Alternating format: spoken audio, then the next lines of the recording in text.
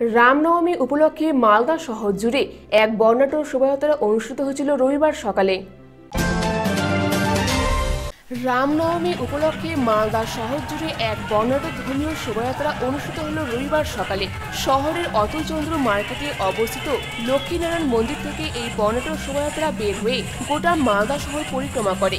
ঢাক ঢোল, বাদ্যযন্ত্র সহকারে প্রায় দু হাজার রামভক্ত এই বর্ণাঢ্য ধর্মীয় শোভাযাত্রায় অংশ নেন।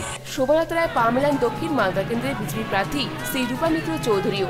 শোভাযাত্রায় এক উদ্যোক্তা স্বপন শর্মা বলেন, রামনবমী উপলক্ষে এই ধর্মীয় শোভাযাত্রার আয়োজন করা হয়েছে।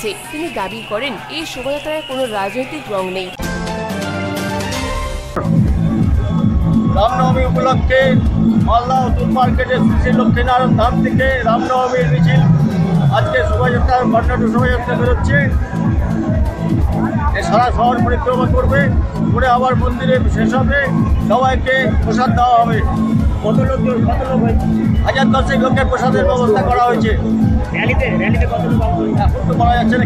থেকে মিছিলে পায়ে হাঁটা ছাড়া আর কি কি থাকবে? বাইক র্যালি আছে বক্স আছে বাজনা আছে আর নানা জিনিস মিছিলে কি কোনো রাজনৈতিক রং আছে? না রাজনীতি কোনো ব্যাপার না এটা সম্পূর্ণ ধর্মীয় ব্যাপার। সেখানে কোনো অস্ত্র ব্যবহার করেছে না অস্ত্র ব্যাপারে কেউ ব্যবহার করছি না। মডেল থাকছে মিছিলে? অর্ডার থাকছে রাম সীতা হনুমান থাকছে। আমাদের একটা শোভাযাত্রা বেরোচ্ছে। কেমন ধরনের শোভাযাত্রাটা করছেন? এই যে সবাই এক ইয়ে হয়ে একবারে রামের ভক্তরা সবাই বেরিয়েছি আমরা জয় শ্রী রামধ্বনি নিয়ে মানে এর আগে তো এই ধরনের ইয়ে লক্ষ্য লক্ষ্য করা যেত না মানে এই যে এত বড় র্যালি কি মনে হচ্ছে আপনার?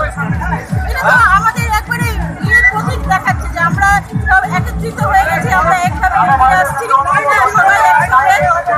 উত্তরবঙ্গ নিউজ ব্যুরো অখিল সরকারের রিপোর্ট।